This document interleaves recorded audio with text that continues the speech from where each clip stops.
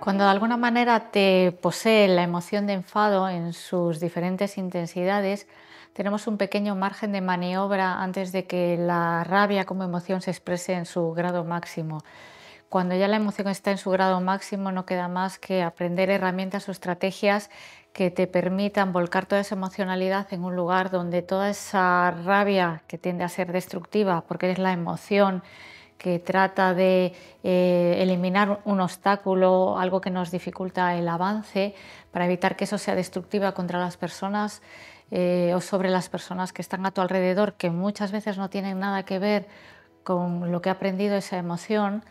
eh, tienes que aprender a intervenir un poco antes. Hay momentos donde empiezas a notar que, el grado de tensión corporal aumenta, entonces puedes desde salir y coger tiempo fuera, decir, bueno, esta situación me está poniendo muy tensa, muy tenso, me voy a dar una vuelta.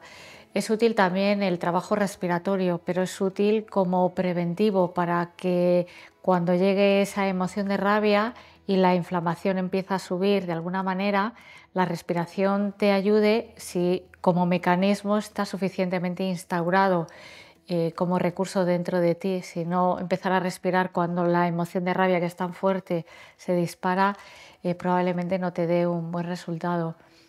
A veces es útil en épocas donde te sientas con la mecha muy corta, donde la rabia sea una emoción que se dispara rápidamente, que te busques recursos para eh, ir vaciando el vaso de la rabia. Puede ser súper útil el hacer deporte o bailar con música de tambores que te permita golpear con los pies, con las piernas, que es una zona importante de descarga, con los brazos, golpear cojines, a veces cuando hay muchísima tensión en la mandíbula, coger una toalla y morder la toalla. Todas estas son herramientas que te ayudan a eh, ir disminuyendo el grado de tensión corporal que hay en ti, ir permitiendo que el vaso de rabia que ya vas notando que va estando muy cargado se pueda vaciar en un contexto seguro y no dañino y destructivo para los demás, ni para ti misma ni para ti mismo. Entonces es importante eh, conocer, eh, conocerte emocionalmente cuando la rabia se dispara. Eh, porque es la única manera de poder intervenir y que no sea un volcar en la rabia y vomitarle. normalmente son las personas más cercanas, eh, aquellas que no se van a ir aunque te muestres súper enfadado, donde tendemos a volcar esta emoción, se nos escapa y, luego eh, pues no es muy justo ni para las personas y a veces tú entras en situaciones de culpa que tampoco suelen ser saludables.